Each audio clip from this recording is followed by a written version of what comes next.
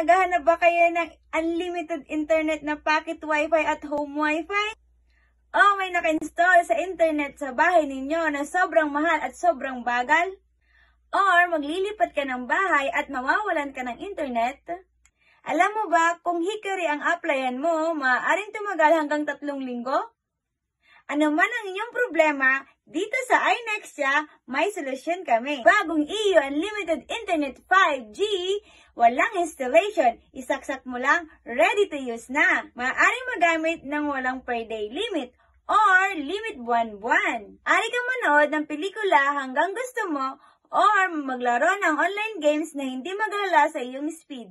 Nag-aalok kami ng dalawang pagpipilian, ang home wifi at ang pocket wifi. Ang home wifi ay inirekomenda sa mga nangangailangan ng internet sa loob ng bahay.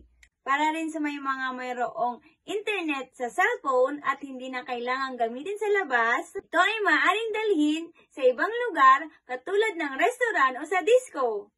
Kanina namin inirekomenda ang pocket wifi sa mga madalas naman sa bahay at may internet sa kanilang bahay at meron ding internet sa kanilang mga telepono na nagiging sobrang mahal ang babayarin buwan-buwan. Pero pwede na rin sanang gumamit lang ng isang device para sa iserbisyo ng internet sa loob o labas ng bahay dahil ito ay unlimited 5G.